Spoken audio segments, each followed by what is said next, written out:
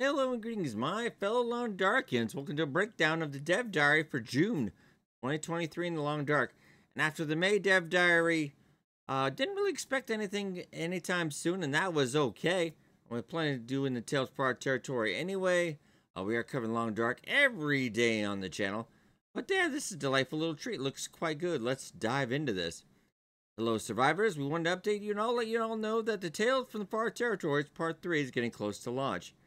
And they did say they were going to take a little break after this one, of course. Uh, very understandable. They were trying to keep a cadence that was really kind of unattainable, I felt. We're in our final stages of testing, tuning, and bug fixing, expected to launch towards the end of June. We'll find more information about what be, content will be in Part 3 of Tales from Far Territory, what to look forward to in the base survival mode's free June update. And it looks like we can already see, oh, a pan? Oh, that's very nice. Look at that new root, flower. Oh, we got a whole bunch of little things. Well, that's delightful. Frontier Cooking. One of the big additions in Part 3 is a new feature called Frontier Cooking. We've added seven new ingredients in the game, which actually that is quite a bit.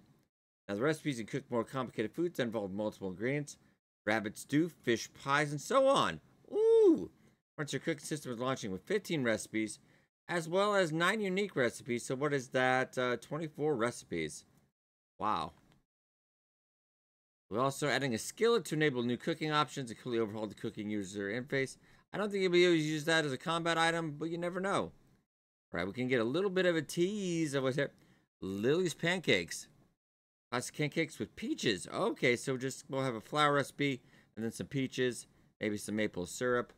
Got pancakes, peach pie, uh, that bird pie, parmesan pie, rabbit pie. All these new items will appear in existing Tales saves game, so you won't have to start a new game uh, they will appear then. It will pass replacement and frequency of new food items, Sure, the game balance preserved for interloper players. Oh, very nice, very nice. Good luck, survivors. And that is the new, probably if I say that wrong, Parjan uh, new bird. Those are the new wildlife we've added in part three. They can be found in most regions, but for more remote, higher ground. Oh, so higher up, maybe in Timberwolf Mountain region, Ash Canyon, perhaps. For me, we also be able to collect their down, which you can utilize in a couple of new crafting recipes. Oh, very nice. Also, we have tool variants. Three new revolver variants, another bow variant, which, if it's not an interloper, that's going to be a little weird again, but an alternate flashlight.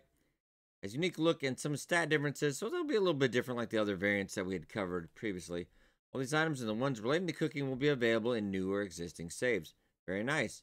But now we're going to get to the free update, those who didn't uh, dive into the DLC just yet. Base survival game, we added and updated a few elements. We overhauled the fishing system, provide more freedom around where you can fish, as well as some new species and giving some new tools for catching and maintaining your fishing options. oh. This is the first major overhaul of the fishing system we added eight years ago.